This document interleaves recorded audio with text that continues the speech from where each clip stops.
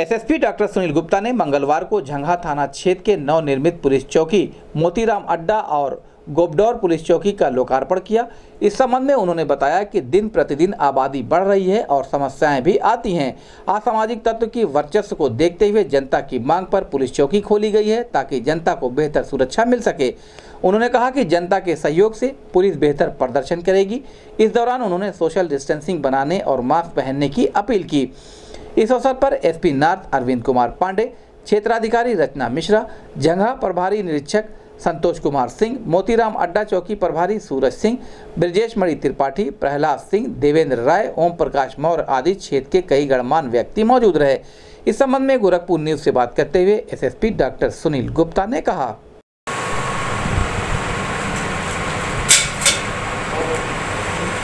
बना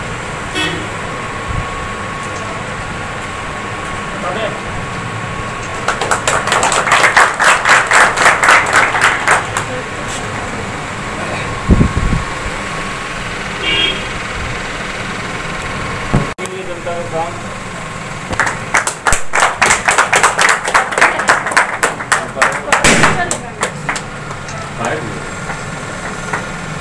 आप सबके सहयोग से मैं यहाँ की लोकल जनता आप सभी को, जनप्रतिनिधियों को, सभी को बहुत धन्यवाद देता हूँ।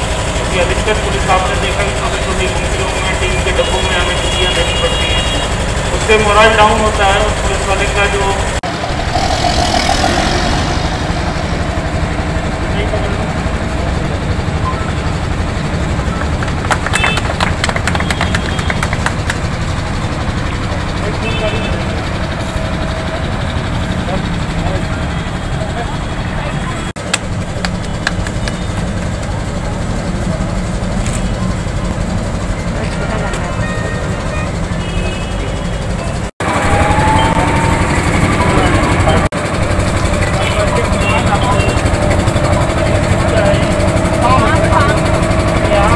और यहाँ पर आए हुए लोकल सम्मानित लोग, मैं आप सबका बहुत बहुत धन्यवाद देता हूँ। यहाँ बहुत दिन से ये पानी में चौकी थी, मुझे बार बार एम एल साहिबा और बाकी लोग भी बताते थे कि यहाँ बहुत पानी लगता है और बड़े मुश्किल में रह रहे थे पुलिस के जवान।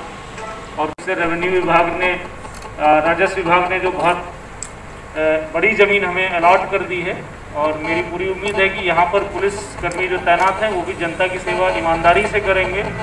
लोगों के काम आएँगे, बेवजह आपको तंग ना करेंगे।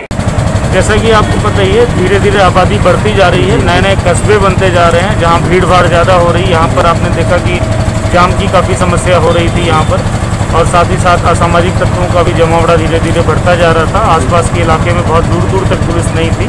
तो लोकल लोगों की डिमांड पर और लोकल लोगों के सहयोग से ही आपने देखा, यहाँ पर जनता का एक बेहतरीन सहयोग का एग्ज़ाम्पल है। लोगों ने दो कमरे यहाँ पर हम लोगों ने बनाए हैं, जिससे कि यहाँ के सिपाही जो पहले डब्बे में या किसी ढाबे में किसी के पास बैठते थे, उससे एक निष्पक्षता पर भी सवाल उठता है। पुलिस को अपनी जगह बैठने की मिल गई है और मुझे पूरी उम्मीद है ये इलाका एकदम अपराध और इंसिडेंट फ्री हो जाएगा और लोगों को बहुत